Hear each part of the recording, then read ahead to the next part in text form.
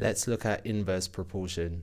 So this is where we have two variables where as one increases, the other decreases. So for example, if we had an equation that linked two variables c and d in the following way, where c equal to 1 over d, then the idea is that if we were to substitute values in for d into this equation, as d gets bigger, c should get smaller. And so if we try some values, let's say d equals to 1, d equals to 2, and d equals to 3. If we were to substitute these into this equation, we would find that when d equals to 1, c equals to 1 divided by 1, which is 1. When d equals to 2, c equals to 1 over 2. And then when d equals to 3, c equals to 1 over 3.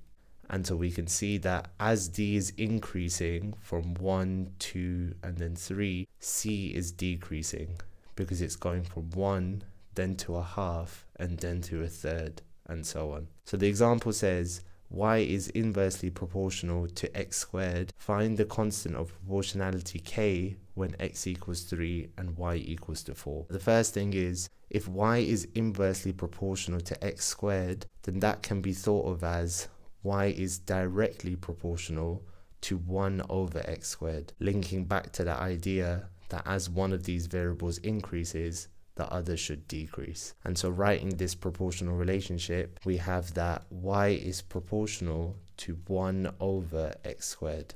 Again, we took the reciprocal because we were told that these two variables are inversely proportional.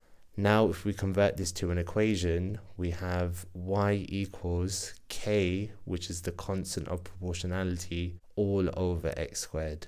So what we've done here is we've multiplied 1 over x squared with k. Now since we're given values for x and y, we can substitute these in to work out what k is. And so if we do that, we find that when y equals to 4, we end up with k over 3 squared. Now simplifying this, we get 4 equals k over 9, and then multiplying both sides, we get that k equals to 4 times 9, which is 36. So this is the constant of proportionality. If we wanted to take this a step further and to work out the equation that links y and x squared, we would write this as y equals 36 over x squared.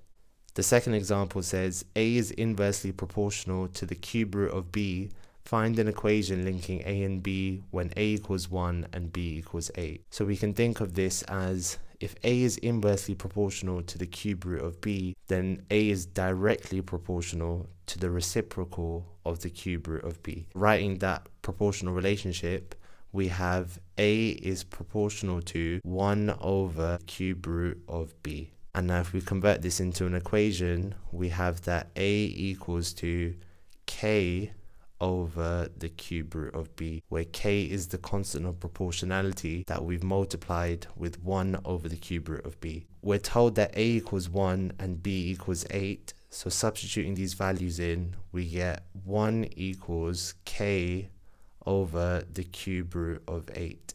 Now the cube root of 8 is equal to 2 and so we end up with 1 equals to k over 2 and now multiplying both sides we find that k equals to 1 times 2 which is 2. And so finally the equation that links a and b together is a equals 2 over the cube root of b. And that is how you can form equations with inverse proportion.